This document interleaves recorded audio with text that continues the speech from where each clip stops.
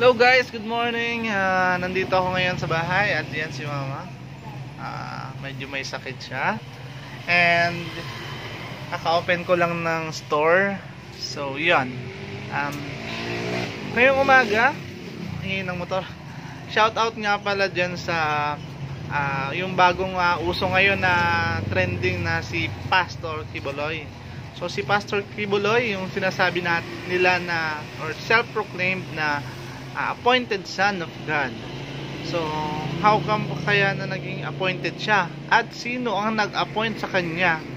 Sino ang person behind that appointment? 'Di ba? Or diba, sabi, sabi na nga, 'di ba? Self-proclaimed.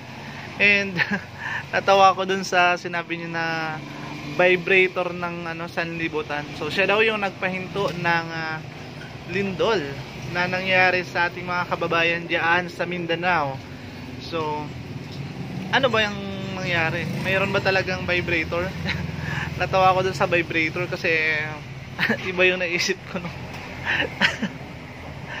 nung sinabi niya yung vibrator. And additional, ah, sabi niya, ah, gagawin niya daw na mura yung bigas. Gagawin niyang 5 pesos per kilo para maging affordable. Actually, maganda siya. Pero mas lalong maganda siya kung hindi magiging drawing. So, iniantay ko nga kung kailan magmumura ng bigas. Ang mahal na ng bigas na yun. Kahit NFA rice, ang mahal-mahal. Kailangan mo pang ah, maghanap ng ah, mabibilhan para ah, makakain ng ano ng bigas. So, yun.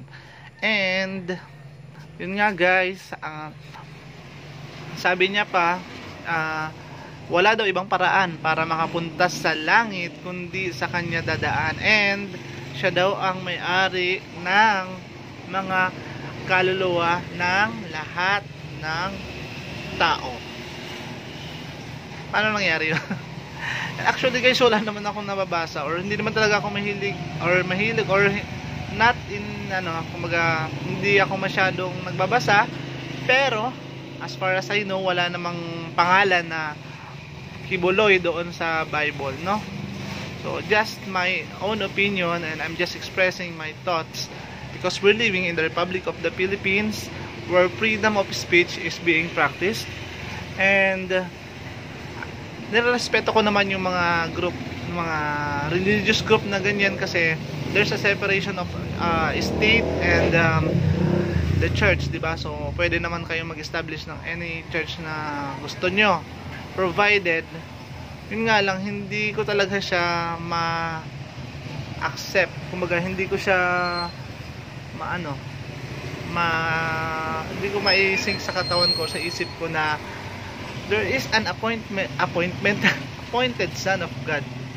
And this appointed son of God has stopped the uh, lindol in Mindanao. So yun ano kayang nangyari doon? Na-stop niya.